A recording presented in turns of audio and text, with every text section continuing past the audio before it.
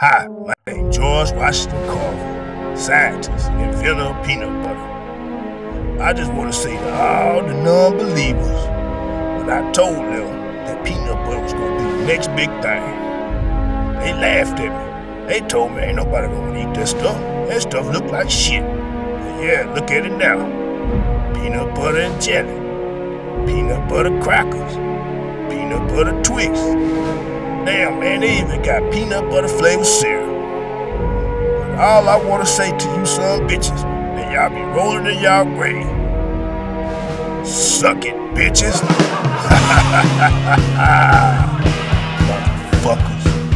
This has been a moment in black history.